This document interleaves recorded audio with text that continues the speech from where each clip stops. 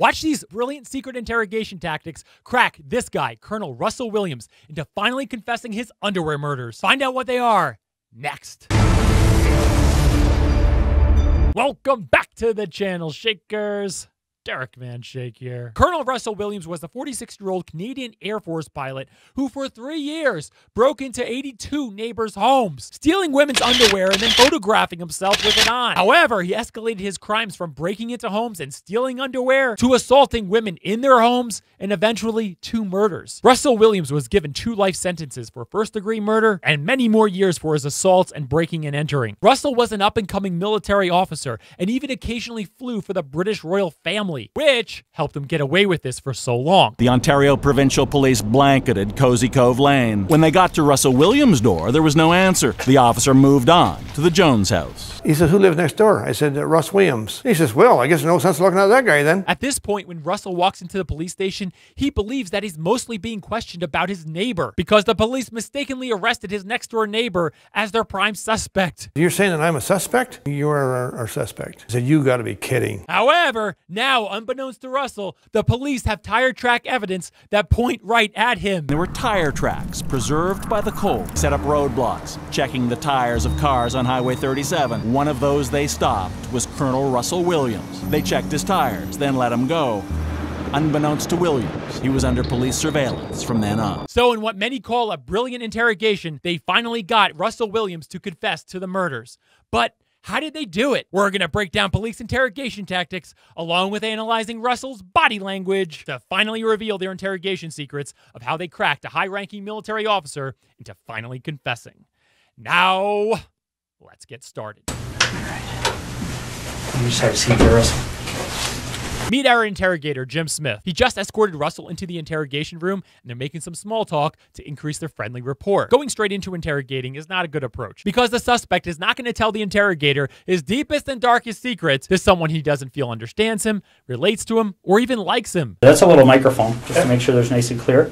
Um, as you can see here, everything in this room is uh, videotaped and audio taped. Check. Uh, you ever been interviewed by the police in a in a room like this before? I have never been interviewed Oh, no? Such a wide smile here from Russell. Yes, he smiles to the camera, seemingly gloating that he's just going to talk to the interrogator for a little bit and get the police to continue to accuse his next door neighbor for his crimes and then drive home for dinner with his wife. You'll surely notice his body language slowly change from what we see here. Okay. No. Let's get this set up here.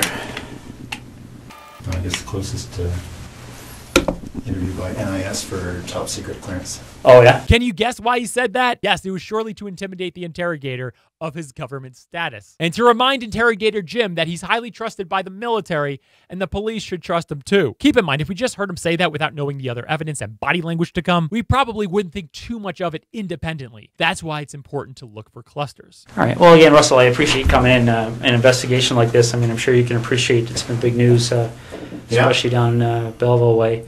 Um, and you know, obviously, our approach to cases like this is that uh, uh, we don't give up on somebody being alive until mm-hmm. we get evidence that they're not. So, um, because of that, we're treating uh, Jessica's case uh, as an emergent situation, obviously. Yeah. Um, so we're we're fast forwarding things that we might normally take our time with, mm-hmm. um, and that's why uh, we're here on a Sunday afternoon. Russell gives off a lot of fake smiles and nervous smirks, which you're surely noticing. We know they're fake and nervous because they come and go quickly. The afternoon. And they seem to be done to appease the interrogator to get on his good side. So, uh, again, I appreciate it. Okay. Um, we're going to do a pretty thorough interview today. Okay. okay?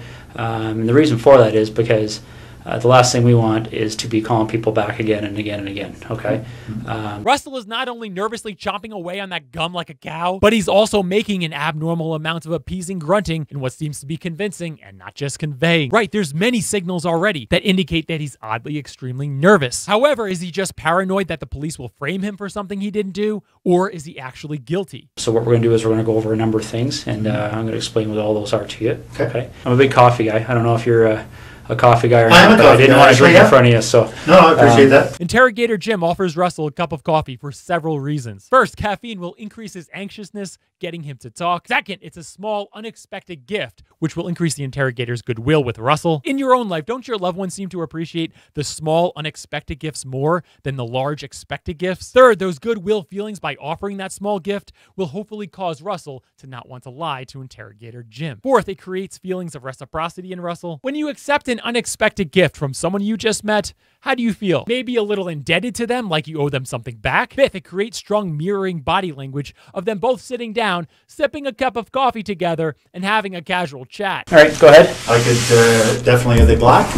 Yeah, they're just black with uh, with sugar. Um, definitely. Take them. I just started. So I probably haven't a little bit. They probably found out that he loves coffee, and they set all that up just for him. Sergeant, what? Sorry. Gum. Just Oh, first piece- okay. first piece of gum. well, there's napkins there if you want to toss it or whatever. I appreciate that. But he turns down the coffee because he would rather nervously chop away on his gum instead, turning that into another signal of how nervous he is. Choosing old gum he had in his mouth for several minutes over a nice, fresh, hot cup of coffee. I am a but I didn't want to drink in front of you. And again, um, like I said, this interview is going to be very thorough. Um, but again, uh, I have a simple rule when I talk to people. It's uh, I'm sure you're the same way. I, I treat everybody with respect. I don't know. I ask you to do the same for me. The interrogator talks about treating each other with respect. Did you notice that he didn't ask that Russell is truthful? Do you know why? Right, that would have come across as accusatory, assuming that Russell will lie. Everyone gets offended when assumed to be a liar, even a liar. Also, this will allow the interrogator to confront Russell with breaking his promise to be respectful when he surely does lie, which will make Russell feel like a dishonorable person for breaking his promise to the nice man who was so thoughtful to surprise him with a hot cup of coffee. Anytime you feel uh, you want to leave here, you feel free to do so. The door's not locked. Teresa will walk you down the lobby anytime you want. Okay. It's always important to mention that the suspect doesn't have to say anything here. Also, remember at this point, Russell can walk out of that police station, go home, and have dinner with his wife. But what would happen if he did that? Right, they would get a warrant for his arrest, and then he would be back in that same chair within a day or two, where he can either try and talk his way out of the evidence like he's doing now, or he can shut his mouth and hire a lawyer. These first two attacks uh, happened uh, not that far from my place in Tweed. Well, the second one did. Yeah. We didn't even know the first one had happened, but uh, I understand that was reasonably close as well. But the second one was uh, was very close. Russell proactively and defensively talks about the crimes like he's a concerned neighbor. Although it's quite obvious he's involved, even if you just look at the pattern. Because every neighborhood Russell moves into, all of a sudden women complain of their underwear being stolen from their homes. Now listen to what the interrogator does. And essentially, uh, Russell, uh, in a nutshell, that's what we wanted to uh, to talk to you about. Okay, um, those four cases are of uh, concern to us, and um, you know you've kind of uh, almost hit the nail on the head about uh, some of our issues that kind of uh, make us want to talk to, to Russell Williams. Okay, because essentially uh, there's a, a, a connection um, between you and uh, and all four of those cases. Yes, when Russell was proactively and casually talking about the case, the interrogator takes that as a partial admission of guilt. A connection um, between you and uh, and all four of those cases. Now see if you notice anything odd in his response. Would you agree? A completely innocent person would become very angry that they're being accused of something so unthinkable. Wouldn't you? However, to a guilty person like Russell, it's not unthinkable because he actually did it. Interrogator Jim says, Would you agree? in a very strong and confident tonality, essentially beginning the confessing process. However, Russell isn't going to follow the lead that easily. So listen to what Interrogator Jim does to get a yes out of Russell. Geographically, And then I guess or I drive past. Uh, yes, I, I would Yeah. have to say there's a, a connection. Yeah. Right, he clarifies and makes it more specific just to get him to agree. It's important to keep Russell on the yes path, going along with what the interrogator says. But notice Russell isn't angry, agitated, or offended at all that he's now a top suspect. And remember, this is not did he steal the candy bar from the corner deli. Russell is sitting there rationalizing with the interrogator of why it makes sense for him to be a top suspect. I'm going to take you to a date that's probably pretty fresh in your mind. Uh, uh, the day that uh, that Marie France uh, Comeau. Um, do you remember how you found out? Corporal Marie France actually worked under Colonel Russell at his base. And if you don't know, Corporal is lower on the military totem pole, while Colonel is extremely high, just under a general. So I got an email. I can't remember if it was late at night, or early in the morning. It was certainly. I saw it. Uh, I want to say first thing in the morning because I had just come back from Ottawa. I was in Ottawa for um, um, a set of meetings on one of the days. I can't remember what, what day of the week we're talking about, but uh, yeah. No, I mean, obviously, when your people gets killed, it uh, gets your attention. Did you notice his odd, out of place smile, which appears to be duping delight? Also, did you notice how he oddly tried to downplay it? Obviously, when your people gets killed, it uh, gets your attention. This was not just any death of someone in his command. It was rare and gruesome, and everyone on the base at this time knew it too. Again, this is another major red flag for this interrogator that Russell is oddly downplaying what happened to one of his people. He wrote a letter of condolence to her family, saying, Please let me know whether there is anything I can do to help you during this very difficult time. He didn't attend the funeral. How did you know Marie France Comeau? I'd only met her once. Um, she was on a crew uh, I was on uh, just after I got to the base. Did you notice interrogator Jim is somewhat mirroring Russell? Yes, he's likely doing that intentionally to get into rapport with Russell. So he will subconsciously feel that Jim understands him more. Would you be willing to supply things like fingerprints, blood samples, Sure. things like that? Yeah. Okay. Um, footwear impressions? Yeah. Okay. Did you notice the interrogator said footwear impressions last? Fingerprints, blood samples, Sure. things like that? After he got yeses out of Russell for the first two more conventional types of samples, Footwear impressions? Yeah. what Russell doesn't know is that they have his frozen footprints in the snow at one of his victims' houses. And they're hoping that Russell was stupid enough to wear the same boots he wore to commit the crimes to the police station to deny the crimes. What do you think? Was Russell actually that stupid? Can I assume you're going to be discreet? It's possible. Yeah. Because, uh, you know, this would have a very significant impact on the base if they thought you thought I did this. If you notice, Russell seems more concerned of what others might think of him, and not that he's a prime suspect for doing these horrific things. At this point in desperation, he reminds the interrogator of his military status, likely hoping that would cause them to tread more lightly when they're investigating him. Bottom line, Russell, that's one of the reasons we're here on a Sunday afternoon. Okay. Um, uh, the uh, the military certainly be of great assistance for to us, especially in relation to Miss Comeau's investigation. So uh, that's certainly one of the things that went into our decision to to give you a call at home today and see if we could deal with this today. Okay. Interrogator Jim basically said, It's Sunday, so don't worry about it. Russell knows his only choice now is to talk his way out of this, which is why he's talking. It's a long shot, but at this point, if he doesn't talk, he'll likely be arrested immediately. Because it's tough to undo the rumor mill once it gets started. Another thing that can often happen in cases like this is that people um, become concerned about uh, things like extramarital affairs, Mm.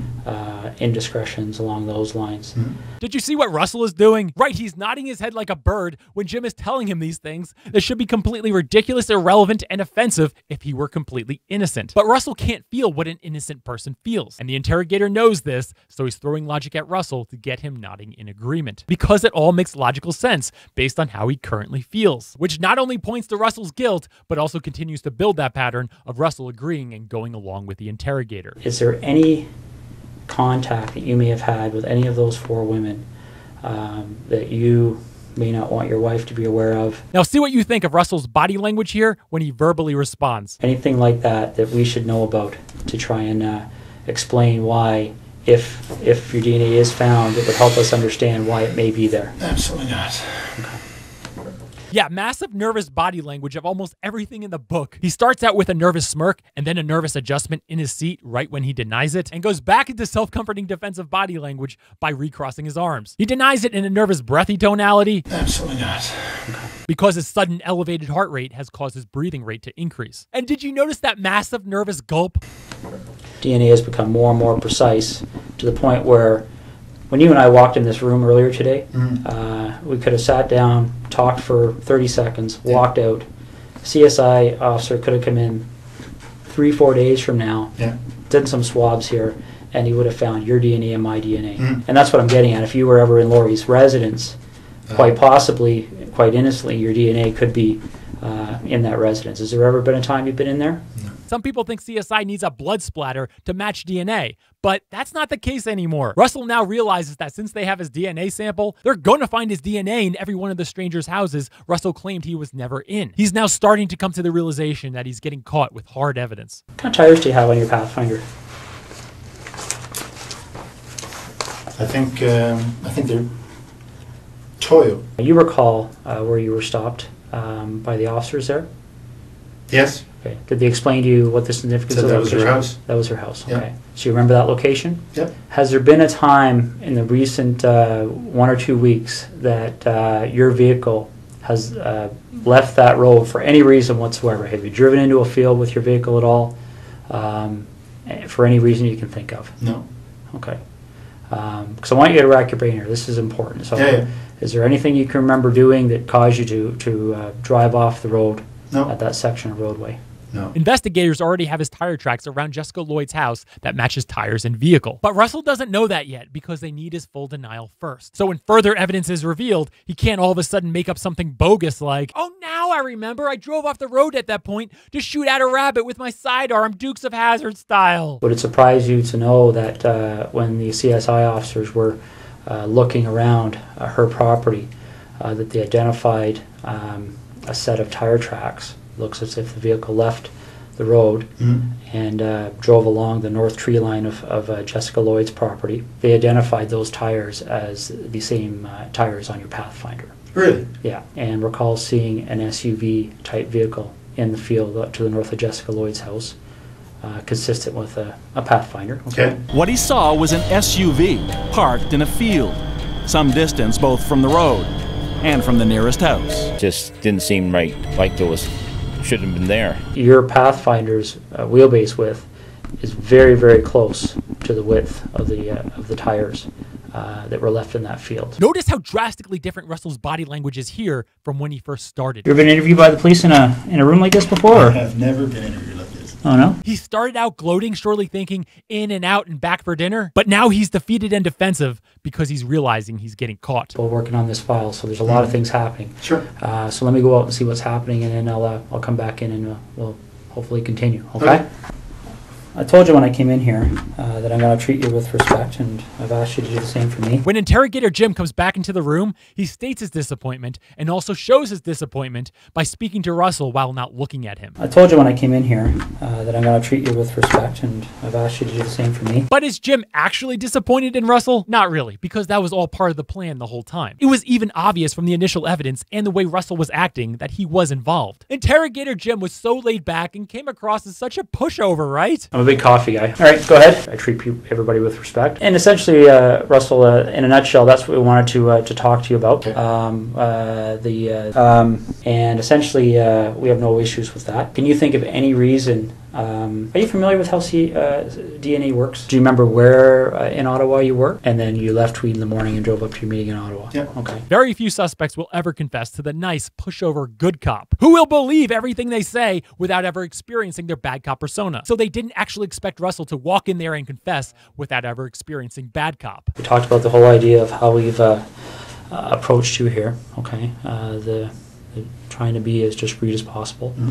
Okay, but the problem is, Russell, is every time I walk out of this room, there's another issue that comes up. Okay, and it's not issues that point away from you; it's issues that point at you. Okay, and I want I want you to see what I mean. All mm-hmm. right. This is not the classical interrogation strategy we've seen before. Typically, the interrogator goes hard and then soft within the same conversation, going from good cop to suddenly bad cop, making the suspect want to confess to the good cop to avoid the bad cop persona. But this strategy here was to go soft on Russell for hours, first seeking to understand Russell so he feels he gave his side completely. But he gave it blind to most of the hard evidence that's out there, which bad cop has. And when interrogator Jim came back this time, he ambushes Russell with the unexpected bad cop persona by laying out all the hard evidence to get him to confess here. This is the footwear impression of the person who approached the rear of Jessica Lloyd's house on the evening of the 28th and 29th of January. Yeah. Okay?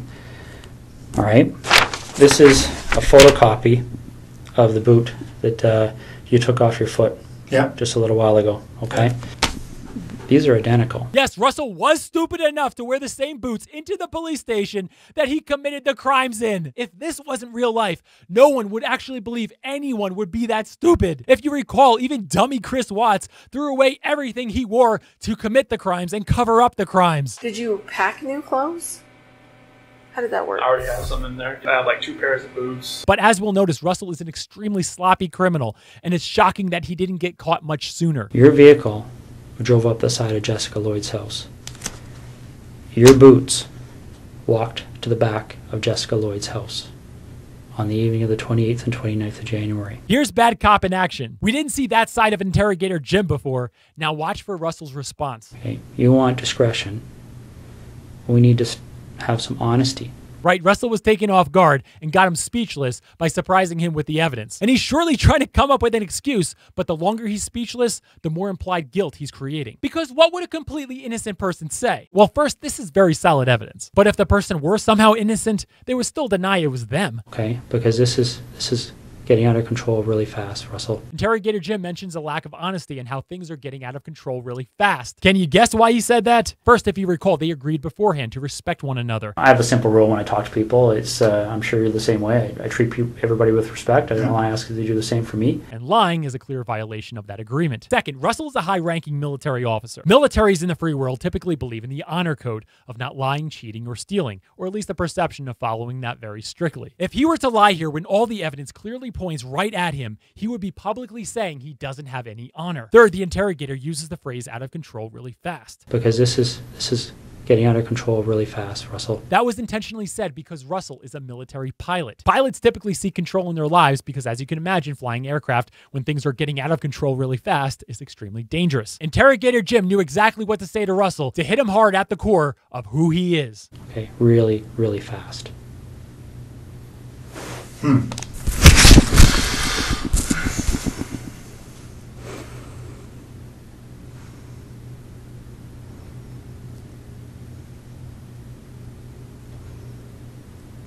This is getting beyond my control.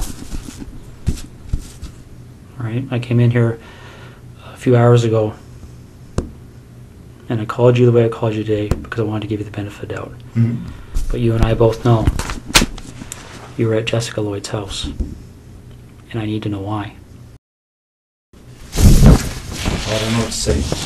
That's, um, Well, you need to explain it. Right now, there's a search warrant being executed your residence. And your wife now knows what's going on. And your vehicle's been seized.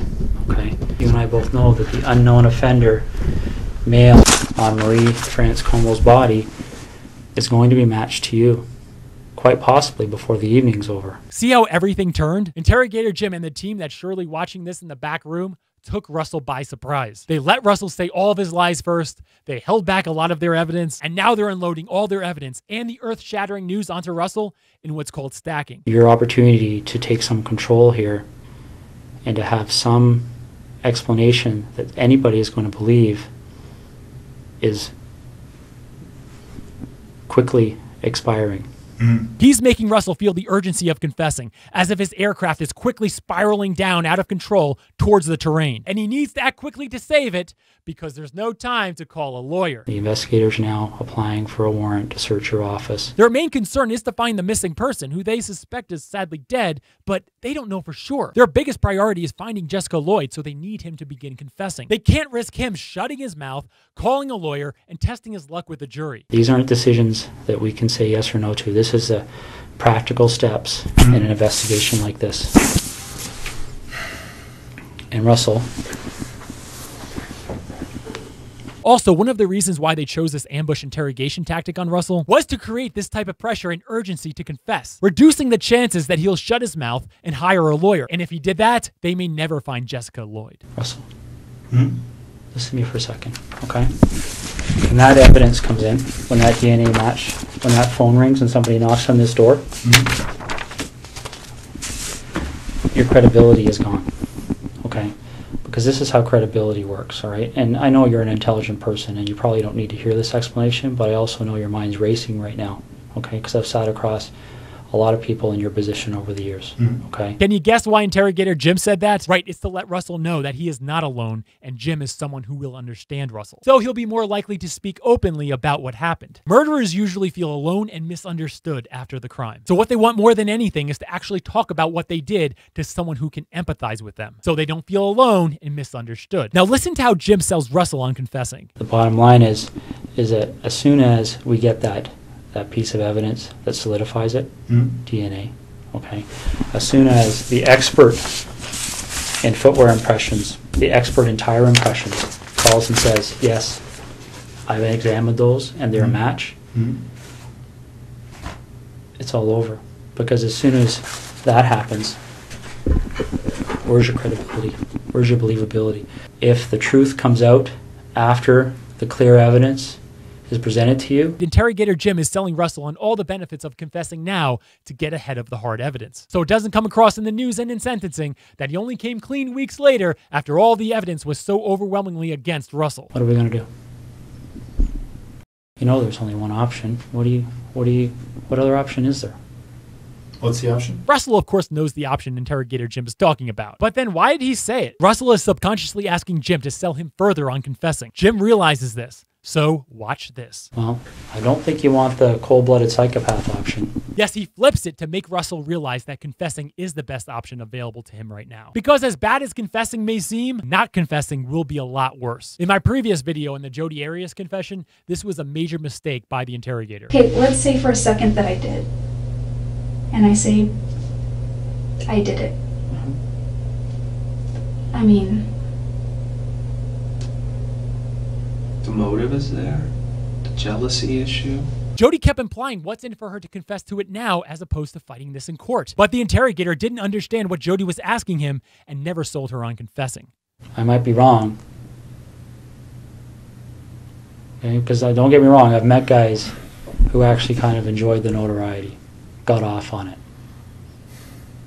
got off on having that label. Bernardo being one of them.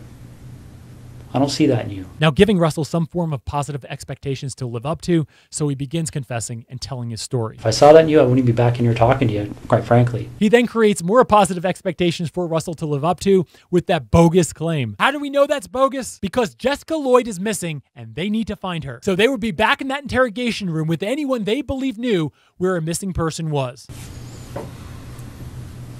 But Russell, of course, gives off a smile and a nod, indicating that he accepted the compliment. Interrogator Jim knows Russell surely has some level of psychopathy, which indicates Russell has a very fragile self identity, causing him to believe fake compliments without question. Yes, as I said a few times in my previous videos, psychopaths are very easy to manipulate. Because of their lack of empathy, their blind spots are massive. But maybe I'm wrong. Maybe you got me fooled. I don't know. Then Interrogator Jim pulls that little compliment that Russell just smiled at away from him. But maybe I'm wrong. Maybe you got me fooled. I don't know. This is known as the push pull tactic. The push is the praise, and the pull is taking back that praise, getting Russell to chase after what he felt like he just lost. So, in order to get back what he just lost, he has to confess to the crimes. You can use this push pull tactic in your own life when you're either trying to sell someone on something or trying to influence someone. I'll probably make a future video on how to do that on my business channel. This is over.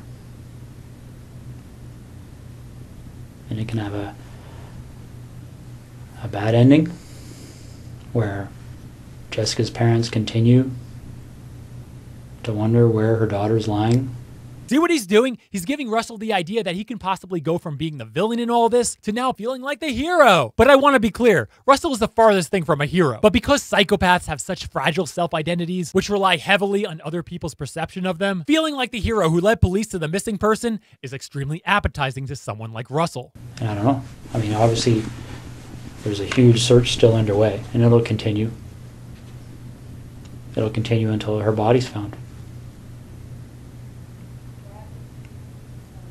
That might even happen tonight, for all I know. Once that happens,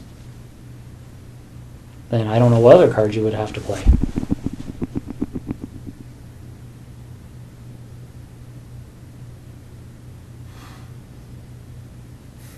What are we going to do? A lot of people get very anxious in long periods of silence.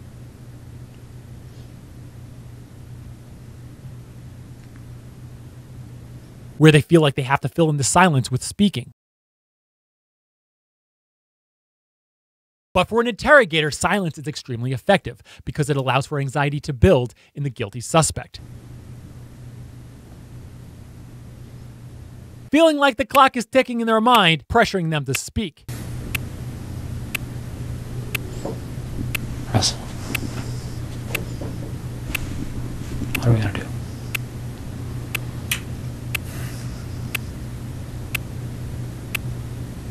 Call me Russ, please.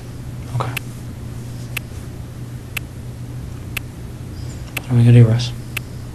Russell is coming to terms that he's now caught and realizes he's going to be spending the rest of his life behind bars.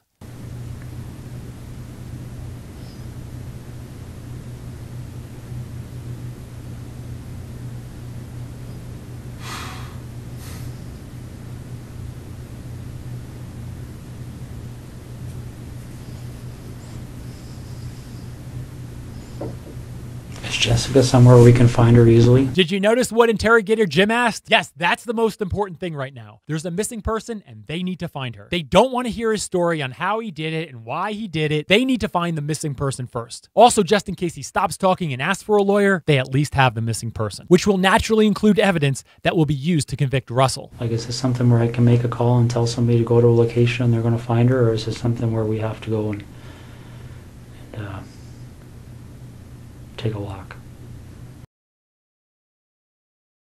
Russ, maybe maybe this would help. Can you tell me what the issue is you're struggling with? What's the issue you're struggling with?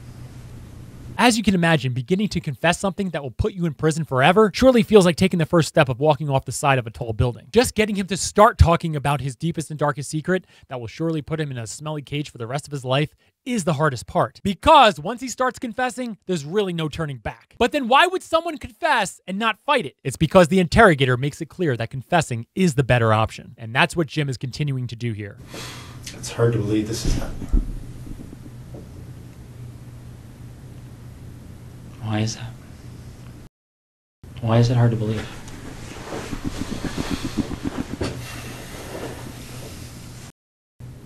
It's just, it's just hard to believe. You talk about perception. My only two immediate concerns from a perception perspective are what my wife must be going through right now Yeah. And the impact this is going to have on the Canadian forces. Major progress, right? He's finally subtly and verbally admitting his involvement. It's a start, but based on his initial perception comment, he seems more concerned about his wife's perception of him and what the Canadian forces will think of him. Also, notice here, and going forward when he confesses, he doesn't seem to show any remorse for all the people he's hurt. I'm concerned that they're tearing apart my wife's brand new house. So am I. But if nobody tells them what's there and what's not, they don't have any choice. Is he really concerned for his wife? Hardly, since we know Russell has very little empathy. Because if he did, he simply wouldn't be capable of committing the crimes we know he committed. Computers will be brought to Microsoft in California. They'll be they'll be picked apart. You can't erase things from computers. They sell programs that uh, to try and help people clean their computers of stuff, and our guys are pulling that stuff out all the time. The FBI is pulling that stuff out all the time. Letting Russell know this is very effective on him because they know from the victims who survived, the perpetrator, Russell, photographed and even video recorded what he was doing. The evidence that they would find on his computer and memory cards would surely be overwhelmingly against him. This investigation will end up costing no less than $10 million. Easy. Any request, they've already been told, it's approved. Don't even bother asking. Minimize the impact on my wife. So do I.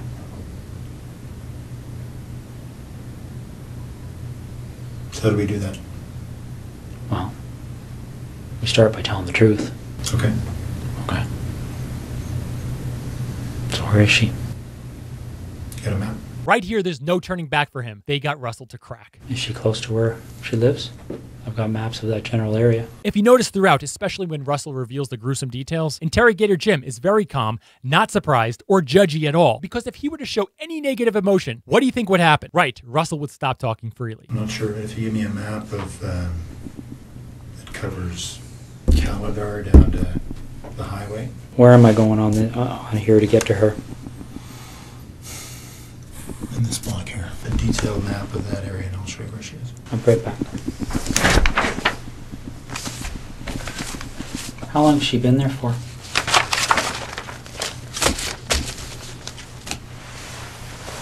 A little over a week. Russ? You're doing the right thing here. Okay. Why do you think Jim gave Russell that handshake saying, You're doing the right thing? A lot of reasons. First, to show camaraderie and trust that they're going to work through what happened together. So Russell is more likely to speak openly to Jim about everything. Second, to essentially seal the deal that Russ will confess tonight. So he doesn't change his mind and go hire a lawyer. Third, by saying you're doing the right thing is rewarding him so he continues to speak truthfully. Changing his self identity from doing the wrong things for so long into a positive self identity by doing what's right by telling the truth. Now, notice how Russell is even more helpful. In one of the top two drawers, and there's a plastic divider. Inside there, there are two memory cards, Okay. which are blank, but you'll be able to draw images of uh, Jessica and I. What about Marie?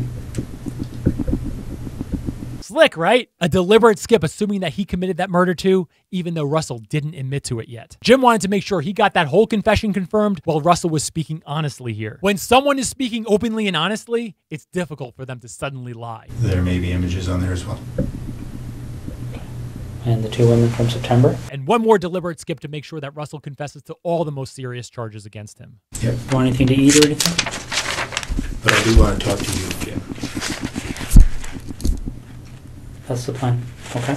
Russell only wants to talk to Jim. He surely feels comfortable, respected, understood, and even liked by Jim. A suspect is not going to want to open up to an interrogator, revealing his deepest and darkest secret if he feels the interrogator hates him. I'll be talking more about this interrogation on my More channel, so you may want to subscribe to my More channel so you don't miss out on additional insight into this brilliant interrogation. And he walks across his lawn. I says, oh, just go on partridge hunting, Russ. I said, well, that's East Hungerford Road. I said, just go there past Kerry Road, and that's where Hunt Camp is. Oh, really? Well, anyway, I'm just heading to work. I'll see you later. How far off the road is she? 40 feet. She's wrapped up. In She's what? on the surface. The next morning, Williams directed police to the body. It was the very location Jones had described to Russell Williams. There's lots of roads way back in the boonies that you could put a body on and nobody'd ever find her. But no, he had to pick the road that goes to my hunt camp. Sounds like he's trying to set me up, eh? Give this video a thumbs up so I know to make more of these interrogation breakdowns. Although Russell received over two life sentences, he will actually be eligible for parole after spending only 25 years in prison. So in the comments, what punishment do you think Russell should have gotten? Let everyone know in the comments below. If you're not already subscribed, hit that subscribe button now because we don't want you to miss out on new body language and investigative videos that always seem to shake up YouTube. And I'll see you at the top. What do you want to talk about? Because it's uh, pretty wide open now, eh? Yeah. What do you want to know? Why don't we start with Jessica? How does that start for you? She was in the basement, window wide open, on a treadmill. So I drove by. I was looking to see who was who was where. So I was just keeping my eyes open. You went back on the Thursday night, right? Yep. She was out. Got in through the kitchen window. Everything else was locked. So you're in there doing what? Looking around to see who lived in the house. It was just her. Well, I left the house and she came home. Hadn't been out of the house very long. So I watched for a little bit to see if she was alone. She was. And then I went in when she went back to sleep through the uh, back patio door while she was uh, sleeping. So I woke her up. Didn't um, didn't hit her. I snuck up to the side of her bed, expecting to try to knock her out. She woke up, but she did as I said. What did you say? I said, lie down on your tummy. She did. I tied her up. What'd tie her up with? Rope I brought. Are you in any of these pictures? Yep. What kind of images are you in? Well, I'm with her on the hard drives. You'll see there's video as well. Almost four hours, I guess. So I was running the video and then taking still pictures. So the video pretty much covers everything. Did you use video at other places? At uh, Marie France's as well. Marie France uh, Comeau. You remember why you that you thought to do that? She had said she lived alone the one time I met her. So you go to her house, and what do you do that night? The first night, Side basement window. side basement window. But I could see that it was not locked. It had been opened slightly. So I removed the screen, slid it open, went in. And looked around and uh, made sure that she was living there alone. Do you do anything that night? Yeah, I was playing with her uh, underwear, wearing it. Did you take any of your underwear with you that night? Yeah, a few pieces. Was it clean? Was it used? For Clean. uh, what time do you think you got there? About 11 or so. She was on the phone in her room. I could hear that uh, from the backyard. I got in through the uh, side window. Same basement window. Mhm. She actually discovered me in the basement. She was trying to get her cat to come upstairs, and the cat was in the basement, had seen me and was fixated on me in the corner. She couldn't get the cat up. She came downstairs trying to get the cat, and not sure why she uh, came over to me. I guess the cat was staring at me, and she was wondering why the cat was staring at. Lights were on. I was hiding behind the furnace, so she spotted me right there. And what is she wearing at that point? She wasn't wearing anything to start with. So when she came down to the basement, she had no clothes on. Mhm. She had some sort of a shawl over her shoulder. Okay. Which she immediately dropped when she saw me. Did she say anything when she saw you? She did. She called out, "You bastard!" Did she recognize you? No, I had uh, stuff on my face. So when she spotted me, I had the same flashlight. It's a red uh, three double D, but it's a metal, you know, one of these aluminum. I subdued her. Some tape, What kind of tape was it? ducting. Did she ever recognize you through this whole episode? No. What did you say you had on your face? I had just a, a cover for my head, just a little cap kind of thing, just a headband over my nose and mouth, covered most everything but my eyes. Did you take anything out of uh, Marie France's house or Jessica Lloyd's house? Yeah, some of their uh, underwear. The lady that lived closer to you. First one, Mhm. I had just spotted her from our boat actually. So you go in, and how'd you get into her house? Side window, cut the screen, slid the window, curled in. And where do you find, uh, In bed, asleep. Noticed that she was alone. and what do you do? Stood over her for a while and I uh, subdued her, mostly just my weight on top of her. Do you remember her saying anything to you? All kinds of things. Took some pictures, some of her underwear and left. You didn't go into her house before that, that night? No. At 76 Cozy Cove. How did you uh, decide on her? I knew she lived alone. How did you know that? She lived three doors down. Didn't know her, but I knew she was pretty alone. She had a boyfriend, hadn't seemed to be, hadn't been around. She told me that they were fighting, so that's why I hadn't been there. Did you look in her house before the night that this this incident happened? When did you do that? I had been in within a week. I looked around to see if there are any permanent signs of her boyfriend, I guess. Took uh, one or two pieces of her underwear, that's all. The night you go there, when the incident happens, I probably got into the house around midnight. A window in the back of the house. I had Get to that. remove the screen and, uh, and slide it up. So I got into the house and uh, she was asleep in front of the TV. We struggled, subdued her with my weight, took some pictures, left. Was probably in the house about two and a half hours. And we talked. I uh, told her I wasn't going to hurt her. I told her that there were other guys in the house robbing her. My job was just to control her. have you spent much time thinking about that? About why? Yeah. Yeah. But I don't have the answers. Let me ask you this: Did you like or dislike these women? I didn't know any of them. I had met Marie France that one time. Let's talk about Jessica because she was there with you for the whole day. What kind of feelings were you experiencing while you were with her that day? Oh, she was a very nice girl. Can you tell me why you killed her? Because I knew that uh, her story would be recognized because she knew I was taking pictures. Two lived, right? And two died. What's what was the difference in your mind between? The attention the first two got was very much focused on pictures I took. So anybody else telling stories about pictures, right, would have been fairly straight line. How do you feel about what you've done? Disappointed. If for whatever reason you didn't end up on our on our radar, so to speak, uh, do you think it would have happened again? I was hoping not, but I can't answer